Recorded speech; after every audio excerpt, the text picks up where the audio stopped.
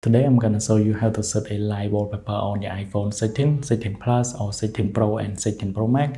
Now whenever I wake up my screen, you can see a little um, animation or action on my uh, lock screen.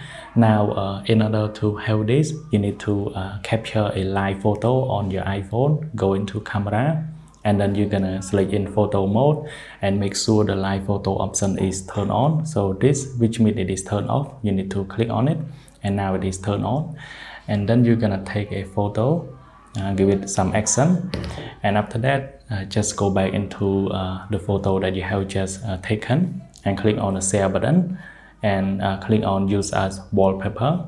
And now um, it is uh, loading here at the bottom. And now make sure you enable this option at the bottom to give it uh, an animation whenever you uh, lock your phone. So now um, let me set it as a wallpaper. Now go back into my lock screen. You have a nice animation on the lock screen. Thanks for watching. I hope you like this video. Then I will see you guys in the next one.